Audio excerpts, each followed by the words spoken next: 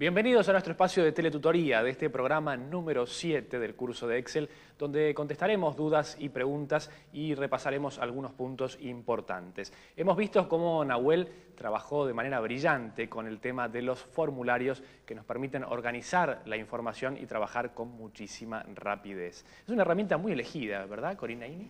Sí, así es, porque el formulario nos va a simplificar mucho la tarea cuando trabajemos con planillas muy extensas. Además nos va a presentar el cuadro de diálogo para trabajar en forma mucho más amena y con formato de una base de datos.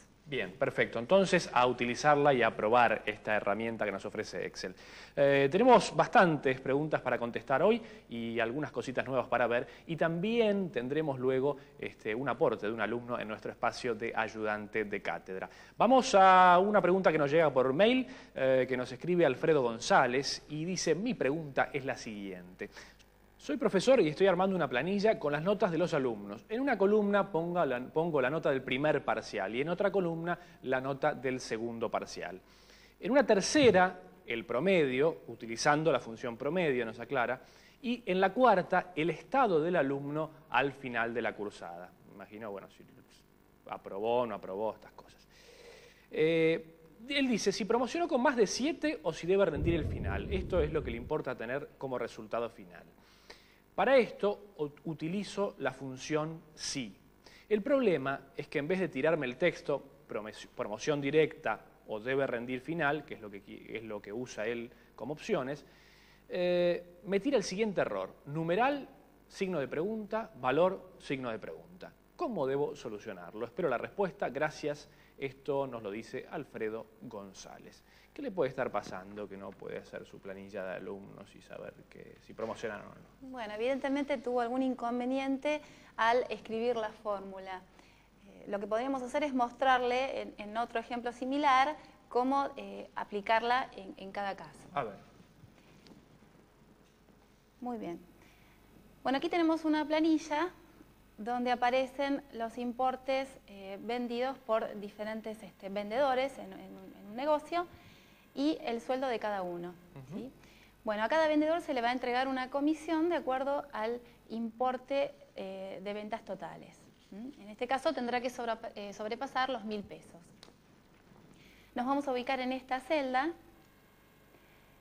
y vamos a utilizar el botón pegar función para agregar la función sí. Aceptamos. Vamos a desplazar arrastrando un poquito el asistente para funciones. Entonces, tendremos que eh, escribir la leyenda que aparece en cada caso según cobre o no la comisión. ¿sí? Bien. Muy bien. Entonces, vamos a escribirlo.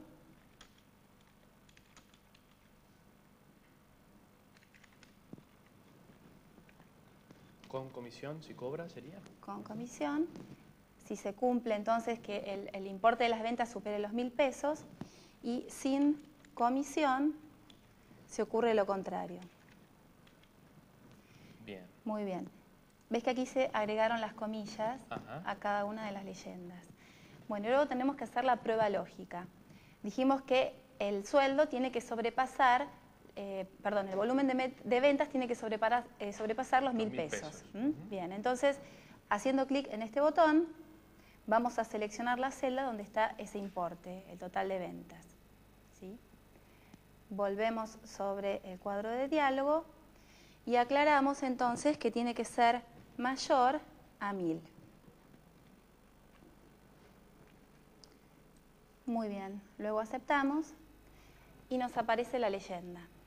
Bien, eh, lo que le pudo haber ocurrido a nuestro alumno seguramente eh, es que no habrá agregado el encomillado, seguramente escribió él la función. si, yo no lo hago desde el editor de funciones como lo hicimos recién y lo hago escribiendo la fórmula, eh, ¿allí debería tener en cuenta el tema de las comillas? Allí hay que tener claro, porque cuando lo usamos em, a partir del asistente de funciones, el encomillado se agrega en forma automática, pero si nosotros decidimos escribirlo en la barra de fórmulas, al olvidar este elemento, bueno, ahí surge el inconveniente. Bien, entonces hacer, el consejo es hacerlo desde el editor de funciones o si no acordarse de poner las, comillas en el texto que yo quiero que figure en la, celda de resultados. Correcto. Bien, perfecto Corina y esperamos que en este caso Alfredo González pueda tener en orden su planilla de alumnos y que haya muchos que digan promoción directa además. ¿eh? Esperemos que así sea Alfredo. Vamos a continuar este programa y recordándoles que este programa de televisión es solo una parte de este curso de educación a distancia de Excel. Les recordamos que usted al inscribirse recibe una serie de materiales, entre ellos y actualmente todos los inscriptos reciben eh, la actualización del libro a Excel 2000.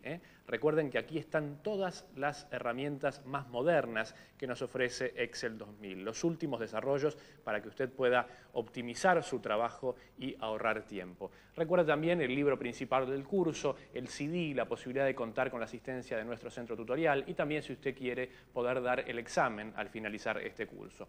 Puede llamar a nuestro teléfono de informes e inscripciones, tanto eh, también los que han hecho la versión Excel 97 pueden adquirir solamente la actualización a Excel 2000, ¿eh? la actualización del libro a Excel 2000. Nuestros teléfonos 4-779-9002, 4-779-9002 o también el 0800 de llamada gratuita que es el 0800